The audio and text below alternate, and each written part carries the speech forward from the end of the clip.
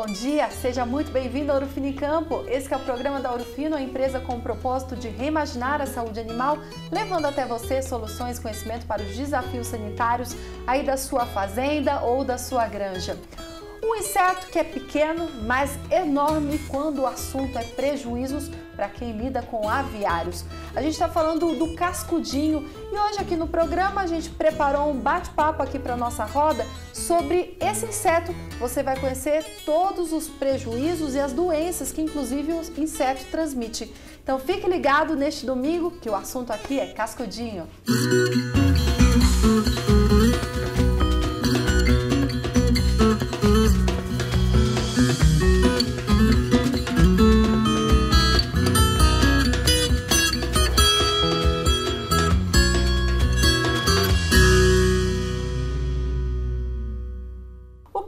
é um dos principais desafios em aviários. Se você nunca ouviu falar sobre esse inseto, hoje a gente preparou um bate-papo especial para você, porque está aqui conosco a nossa analista técnica, a Gisele Ravaiani. Gisele, bom dia, muito obrigada pela sua presença. Bom dia, Juliana. Bom dia para você que está aí acompanhando a gente nesse domingo de manhã. Bom, quero deixar o número do nosso WhatsApp à sua disposição, caso você queira fazer alguma pergunta, é 16 98181 8687. Gisele, para iniciar então, tem muita gente que nunca ouviu falar no tal do cascudinho. Você pode explicar então o que, que é esse danadinho? Posso sim, Ju. O que, que acontece? O cascudinho, é, o nome né, verdadeiro científico dele é Optobius diaperinius. Ele é um inseto, né, um besouro bem pequenininho, ele é de origem africana e ele veio para o Brasil junto com grãos, porque ele é uma praga de grãos. Olha só. E aí ele veio para cá junto com, com, com os grãos. Bom, e aí causou a maior dor de cabeça para quem tá, para os criadores aí de frangos. E como que funciona esse ciclo, o ciclo de vida do inseto? Sim, o cascudinho ele tem um ciclo assim relativamente curto. Ele pode durar de um a três meses, ou seja, a cada 30 até no máximo 90 dias está tendo um ciclo, então estão se formando né, novos cascudinhos. O que, que acontece? A temperatura e a umidade do ambiente ela vai ajudar ou não esse ciclo se tornar mais rápido. Então, por exemplo, em ambientes muito quentes e muito úmidos, o ciclo vai se tornar mais rápido. Certo. O que, que, ele vai causar de prejuízo? Ele vai danificar a instalação da granja, por exemplo? Vai. O cascudinho, é... ele causa vários tipos de, pro... de problemas na instalação. Por quê? Ele vai se esconder, ele vai produzir né, galerias subterrâneas.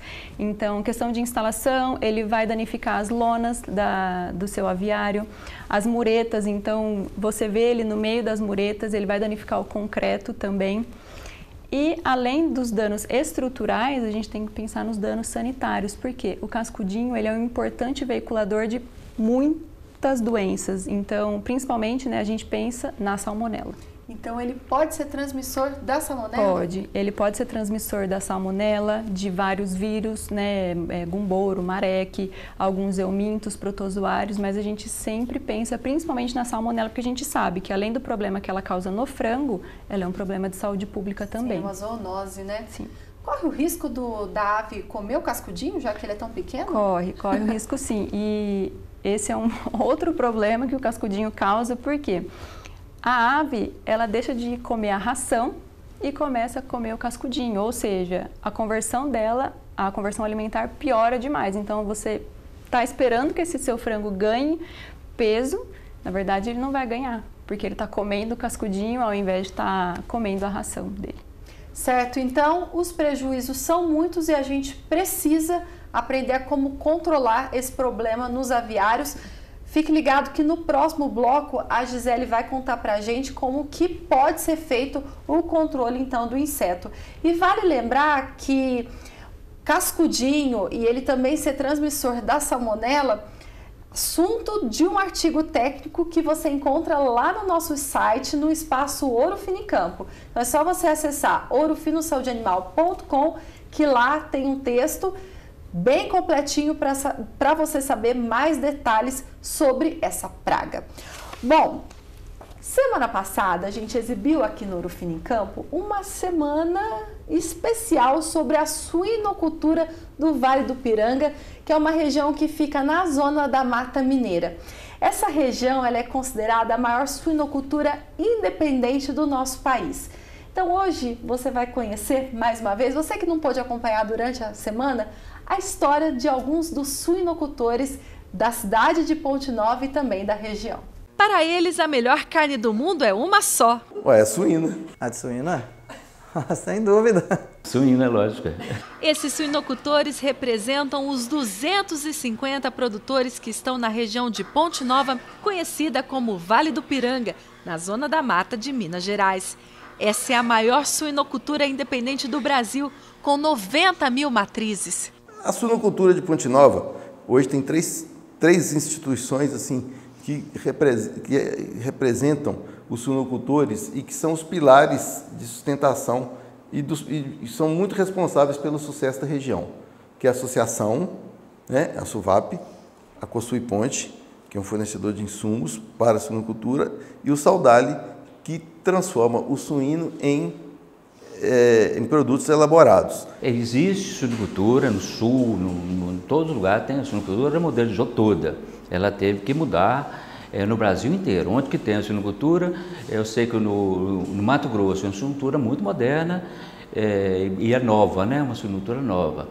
É, mas ela é, ela é modelo, com certeza ela é referência no Brasil. Na região, os filhos sucedem os pais nas granjas.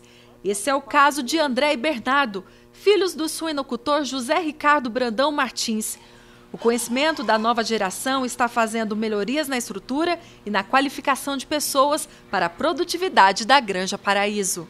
Eu tinha uma empresa de TI em Belo Horizonte e vendo a necessidade do meu pai, já com a idade avançando e sozinho, é, eu decidi vender a minha parte na empresa para o meu sócio e vim aqui ajudar. As pessoas, no, no fim, né, são, são as pessoas que estão cuidando dos suínos, então não adianta ter o melhor produto, melhor sanidade, sendo que não tem bons profissionais para colocar isso tudo em prática. São essas as novas gerações que mantêm a tradição e começam a escrever uma nova história para a suinocultura do Vale do Piranga. Foram anos de muito desafio, mas todos vencidos com planejamento, estratégia, dedicação e muito empenho.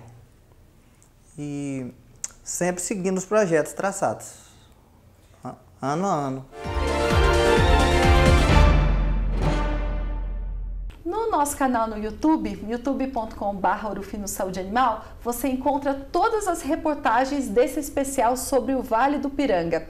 E no próximo bloco a gente tem mais uma reportagem para mostrar aqui hoje, que é sobre a qualidade da carne suína da região.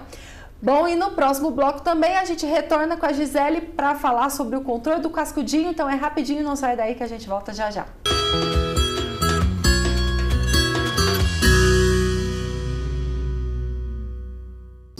Seja no lombo ou no banho ou na pulverização, essa família Colosso é a melhor solução.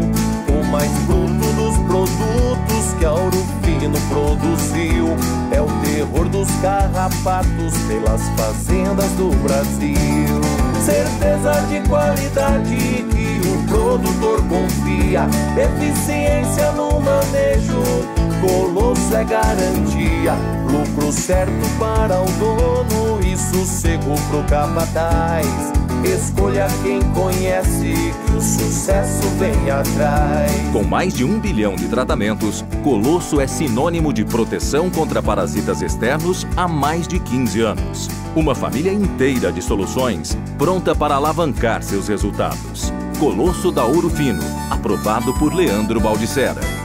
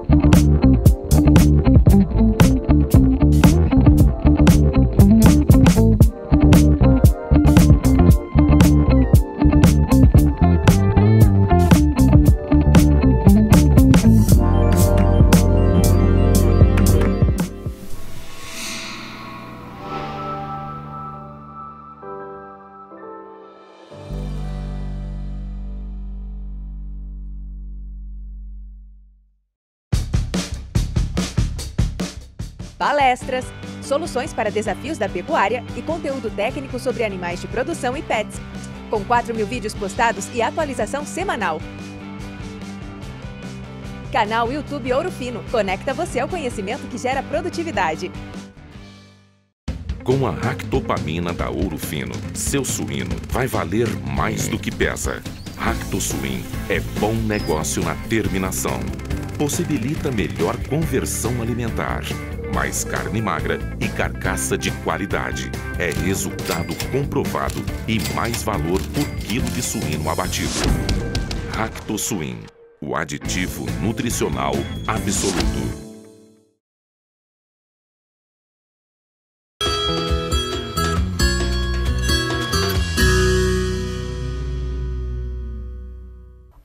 Campo está de volta e hoje no programa a gente está falando sobre cascudinho, que é um inseto bem comum em aviários. O cascudinho, ele é pequeno de tamanho, mas enorme quando o assunto é prejuízo. Quem está explicando tudo para a gente sobre esse inseto é a nossa analista técnica, a Gisele Ravaiani, que está participando aqui neste domingo com a gente. Gi, no bloco anterior a gente já conversou um pouquinho sobre o que é o cascudinho e agora a gente vai entrar no controle. Mas antes, você separou algumas imagens para mostrar, né? Sim, Ju, eu então, separei. Então vamos colocar primeiro aqui na tela. Esse é o danado. Isso. Essa imagem aqui é bem o que a gente encontra né, nos aviários que, que tem a infestação por, por cascudinho. Então, é esse inseto bem pequenininho e a gente encontra aqui aos montes, né? Então, na cama. E se você mexer a cama, né? Tem um vídeo que a gente vai mostrar. Você mexe a cama e aí eles começam a aparecer também. Ou seja, o pessoal da granja, como o cascudinho é pequeno, se mistura na granja, não, é, é, na cama, perdão, é Sim. é impossível ver. Sim. Mas quando a infestação está muito alta também a gente consegue ver, mas ele se esconde muito bem. Muito bem. Temos outra imagem, esse é o galpão. Isso, esse galpão aqui é, na verdade, para ilustrar, porque existem alguns pontos que tem uma maior concentração dos cascudinhos, por exemplo, embaixo do comedouro, né? Aqui os comedouros estão suspensos, mas quando você vai é, analisar a infestação desse galpão, quando você olha embaixo do comedouro, eles estão ali. Então, lá. Bom, aí a gente tem um, um, vídeo também que a gente quer passar, Isso. que é o cascudinho se mexendo. Exatamente, é o que a gente encontra no, nos aviários, né? Então você mexe a cama do, do aviário e eles estão ali na superfície, estão mais para baixo, estão no meio da cama, estão escondidos o tempo todo. Bom, então agora a gente quer saber como que faz então o controle desse inseto no aviário, Gi. Bom, Ju, é, a Ourofino ela tem um potente aliado para o avicultor que é o Colosso Avicultura, né? Recentemente a gente lançou a embalagem nova do, do Colosso Avicultura e esse produto ele é composto por três princípios ativos, que é o clorpirifos, é, a cipermetrina e o botóxido de piperonila. Tá aqui o produto Isso. na tela, né? Aqui a nossa embalagem nova, né? Então, o botóxido de piperonila, ele é um sinergista, né? Ele vai aumentar, potencializar a ação, principalmente da, da cipermetrina aí do, do nosso colosso. Agora, Gi, como que vai funcionar o manejo ali no aviário com o colosso avicultura? Boa pergunta, Ju é o seguinte, esse manejo para o controle do cascudinho, ele deve ser feito em toda saída de lote. Ou seja, não pode estar com a ave dentro, né? Exatamente, não pode. Então, o que acontece? Desalojou, né? Saiu aquele lote, você já faz a aplicação desse produto, assim, no máximo 24 horas depois da saída do lote, tá? Certo. Porque o que acontece? É, quando tem a saída do lote, principalmente a temperatura da cama ela diminui e com isso o cascudinho começa a migrar ou para outros aviários ou para as galerias que ficam no, no próprio aviário. E aí com isso ele se esconde e aí a gente não consegue ter um controle tão, tão legal. E como que o pessoal da granja vai utilizar o colosso com uma bomba? Como que funciona? Exatamente. O colosso, né, a gente indica fazer uma pré-diluição. Normalmente a gente indica aí diluir um litro em 400 ml de água. Mas o indicado, né, para um galpão de 1.200 metros quadrados é você utilizar 2,5 litros e meio do Colosso Avicultura. Você pode utilizar tanto pulverizador, né, a pulverização ou atomizador. É, isso vai depender de um aviário para o outro. E a utilização de lona ou não, tem diferentes metodologias, né? Mas o que, que acontece? Saiu o lote, prepara né, a solução do Colosso Avicultura e passa em todo o galpão. Certo. Não esquecendo da parte interna, tanto da parte externa também, que é importante. Então, as muretas, pilares, embaixo dos comedouros, na cama como um todo, na parte interna da lona. Qualquer cantinho tem que passar. Qualquer cantinho. Na parte externa, na calçada, na lona, nas muretinhas que tem, porque ali é tudo caminho para ele estar tá migrando para outro lugar. Certo. Hoje, e na hora da aplicação, tem alguma recomendação para a gente dar para o pessoal? Por exemplo, tem que pôr luva, tem que colocar máscara, já que está pulverizando o ambiente? Tem, tem sim. Não só né, por conta do colosso, mas assim, qualquer outro produto né, que você for utilizar para esse fim, a gente sempre tem que ter o cuidado de usar os EPIs, que são os equipamentos de proteção individual. Então, pensar em um óculos né, que feche, né, que tampe, para que não tenha contato nenhum com, com os olhos luva que seja impermeável, macacão impermeável, o uso de bota, né? Então a gente tem que tomar sempre cuidado para utilizar. Tem que usar o EPI na hora da aplicação desse produto. É, às vezes a gente é meio chatinho aqui de ficar falando para você usar luva, usar máscara, usar uma roupa, mas tudo isso é pensando na sua segurança. Afinal, a gente está falando de produtos que eles são tóxicos, né? Porque eles vão agir contra um inseto ou um parasita. Então tem que garantir que nada vai acontecer com você que está aplicando, correto? Bom, Gi, então essa solução, o produtor que tiver na mão ali, cada mudança de lote vai fazer Sim. o controle do cascudinho. Saiu o lote, aplica e é muito importante depois que terminou a aplicação, finalizou, mantenha esse galpão fechado por no mínimo 48 horas, porque aí tem a total ação desse produto e aí depois você abre e aí pode fazer os outros manejos, isso vai depender de uma, de uma propriedade para outra. Tá certo. Olha, mais informações sobre o Colosso Avicultura você encontra lá no nosso site orufinosaudeanimal.com ou então você pode baixar agora no seu celular o aplicativo do Orufino. Ele já está disponível tanto para Android quanto para iPhone e é totalmente gratuito. Vamos mudar aqui um pouquinho de assunto, não vou me despedir ainda da Gisele, porque tem uma outra categoria animal que eu sei que ela gosta bastante, que é os suínos, né? A gente já viu um pouquinho no bloco anterior sobre a história da suinocultura do Vale do Piranga, né? Que é considerada a maior suinocultura Sim. independente da aqui do Brasil, né, Gi? E agora a gente vai ver a preocupação com a qualidade da carne suína. Então vamos conferir aqui na tela. Na década de 1980, quando a cana-de-açúcar deixou de dividir espaço com a suinocultura, a criação de suínos passou por uma transformação tecnológica para o melhoramento da atividade na região de Ponte Nova, Minas Gerais. A Grosses lançou um, um, programa de suíno é, onde que eles, eles é, valorizaram a instalação, é, manejo, sanidade e genética. E, foi, e coincidiu com a época que eu comecei a, é, a trabalhar com suíno. É, e a, trouxemos a ideia para cá, para alguns suinocultores, e começou aí uma evolução da suinocultura antiga, da mudança da, suína, da suinocultura antiga para a nova suinocultura, uma suinocultura mais industrial, que nós chamávamos na época. A tecnologia foi a grande aliada do suinocultor para o aumento da produção e da qualidade da carne suína. Quem acredita na tecnologia e nos melhoramentos, ele evolui com mais facilidade. Não só a tecnologia e os manejos sanitários são fundamentais para a qualidade da carne suína, mas também as pessoas. A gente precisa, primeiramente, de uma equipe muito boa, muito bem treinada, uma harmonia da equipe, é, bons produtos, bons profissionais também dando uma consultoria para a gente. E são as pessoas que iniciam a cadeia da suinocultura. Hoje o Brasil é o quarto maior produtor e exportador de carne suína no mundo. Todos unidos para aumentar o consumo e quebrar os mitos que envolvem o alimento. Desmistificar a, é, essa questão da gordura, da cisticercose, isso é uma coisa que ficou muito lá atrás. O suíno hoje é altamente tecnificado, as granjas têm um controle de, de, de, qualidade, um controle sanitário muito rigoroso. A suinocultura independente do Vale do Piranga, como é chamada a região de Ponte Nova, coloca o Brasil no nível máximo de qualidade da carne. Ponte Nova consegue sobreviver a essa suinocultura independente, já que na maioria do, do Brasil né, usa-se o modelo de suinocultura integrada, né, onde você é, fornece já para os frigoríficos só uma parte daquela cadeia. Granjas, fornecedores de insumos, frigoríficos e instituições como a Associação dos Sinocultores cumprem a missão de valorizar cada vez mais esse trabalho para o país. A gente é sempre empenhado é, em, em passar para o consumidor que a carne suína é uma carne saborosa e nutritiva, é, além de, dos animais serem criados né, com um rigor sanitário que só eleva essa qualidade.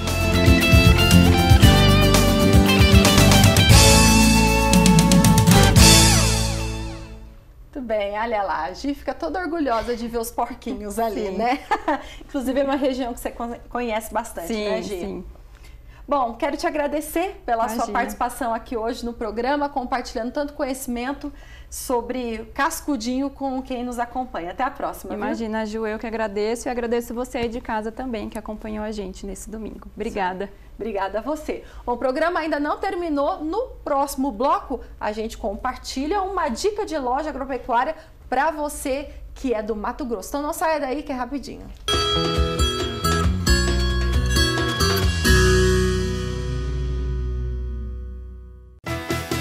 Leite é bom com tudo. Leite com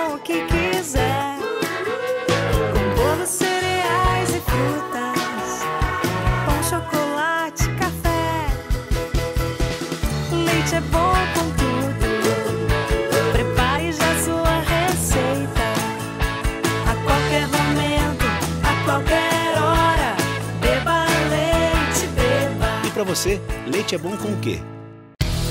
Proteja seu rebanho com o melhor indectocida.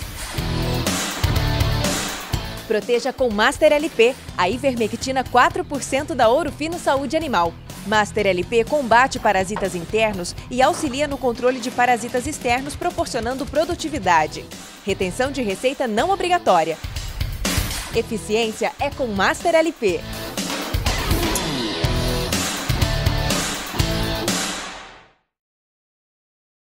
O rebanho bovino brasileiro chega a um novo patamar no controle parasitário com o Evol, a nova marca da Ouro Fino Saúde Animal, reunindo na mesma formulação dois princípios ativos, a ivermectina e o sulfóxido de albendazol.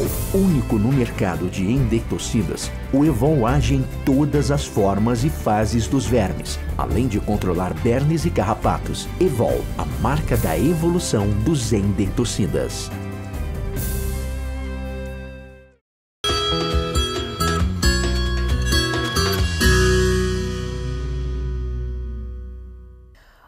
Campo está de volta. Começa hoje um novo percurso do Rally da Pecuária 2019. Então vamos ver por onde que o Rally vai passar durante a semana. Parte hoje de Vilhena, aqui em Rondônia, no sul de Rondônia, e vai passar pelas cidades de Rolim de Moura, Ji-Paraná, Ariquemes e termina na quinta-feira, no dia 1 de agosto, em Porto Velho, na capital de Rondônia. Então você que é do estado, fique ligado né, por esse circuito, porque sempre tem eventos que o Rally realiza para disseminar, levar informação até você. Agora, o Rally não terminou, ele vai continuar percorrendo outras regiões brasileiras. É só você acessar www.ralidapecuaria.com.br para saber quais são os próximos destinos. Lembrando que a nossa Urufino Saúde Animal é patrocinadora dessa iniciativa. Bom, e a partir de amanhã você confere aqui no Campo um especial sobre o Nelore Veracruz, nosso importante parceiro lá de Barra do Garças, Mato Grosso. E a gente preparou um conteúdo bem especial, só que quem vai contar pra gente o que, que vai rolar é a nossa colega, a minha colega Fran Spadari. E aí, Fran? Oi, Juliana, tudo bem com você? Oi, amigo telespectador. Olha, eu estava aqui assistindo os materiais, finalizando todo esse trabalho aqui, ficou super bacana. Já estou ansiosa para ver esse material aí no Orofino em Campo, viu, Ju? E olha só, o Nelore Veracruz é referência na pecuária de corte nacional, uma fazenda que tem uma alta pressão de seleção investe muito no melhoramento genético do rebanho, está na NCP, no PMGZ e tem uma equipe muito capacitada, uma equipe de alto nível lidando com esse rebanho. E nós passamos uma semana na Fazenda Vera Cruz, lá no Vale do Araguaia, o produtor audiovisual Regis Agostinho e eu, para conferir como que o pecuarista Jairo Machado está investindo em tecnologia para aumentar a precocidade e a produtividade do rebanho dele. E a gente tem o prazer de mostrar esse material para você nesta semana no Orofino em Campo. A gente contou com a participação de pessoas que são referências, profissionais referências em nutrição, genética, sanidade e muito mais. A gente quer dividir esse material com você, viu, telespectador? Contamos aí com a sua audiência. Obrigada, Juliana, pelo espaço. Obrigada, Fran. Então, a partir de amanhã, a partir das 11h30 da manhã e 5 e 5 da tarde, pelo horário de Brasília, você confere esse especial. Tá imperdível. Agora chegou o momento do programa da gente rever o que foi destaque. Para aves, Colosso Avicultura. Lembrando que antes de usar qualquer produto, é muito importante você seguir as doses e as recomendações de bula. E todas as soluções da Urufino você encontra nas principais lojas agropecuárias do país. Agora a gente separou uma dica lá do Mato Grosso, que é a nossa parceira Florindo Agropecuária. A Florinda Agropecuária está presente no Mato Grosso com lojas em Juína, Castanheira, Alta Floresta, Guarantã do Norte, Várzea Grande, além da unidade de Barra do Bugres, onde a equipe do Ouro Fino em Campo veio conhecer o trabalho do grupo na região. Hoje aqui a Florinda é focada na melhor assistência né, aos nossos clientes pecuaristas. Estamos há 24 anos no mercado, trazendo junto com nossos parceiros tudo que tem de melhor para atender a necessidade dos nossos clientes parceiros. É, trazemos aí é, tecnologia, produtos com modernos no mercado, sistema, tudo que for inovador ou que estiver lançando no mercado para a pecuária, a gente procura trazer para os nossos clientes, junto com nossos parceiros e fornecedores. São mais de 20 anos de mercado e cerca de 550 produtores atendidos somente na região de Barra do Bugres. Temos em torno aí de uns 280 mil cabeças, né, o rebanho do município, e, e também atuamos também na cana-de-açúcar. São 35 mil hectares aqui em Barra do Bugres, onde temos a usina Barra Alco. Para levar soluções aos produtores, a Florindo Agropecuária é parceira da Ourofino Saúde Animal no desenvolvimento do agronegócio no Mato Grosso. A parceria com a Ourofino hoje, ela vem aumentando na cada dia que passa, né? nos últimos anos ela cresceu bastante. Uma empresa que a gente considera muito, traz, inova, né? sempre produtos novos, tem a marca forte, um portfólio bem completo, onde a gente pode levar para os clientes tudo aquilo que a gente tem prometido e com o compromisso da Florinda. Florinda Agropecuária é uma grande parceira, uma grande amiga da Urufino Saúde Animal. Hoje ela trabalha com toda a nossa linha de medicamentos reprodutivos, endectocidas, antibióticos, anti-inflamatórios, sempre visando o melhor atendimento aos seus clientes.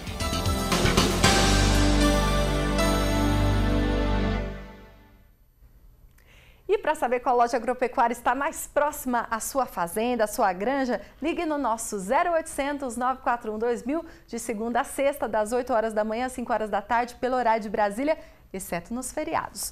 A gente vai ficando por aqui. Muito obrigada pela sua companhia. Amanhã, então, estamos de volta a partir das 11h30 da manhã pelo horário de Brasília. Aproveite o restante do domingo e até amanhã. Tchau!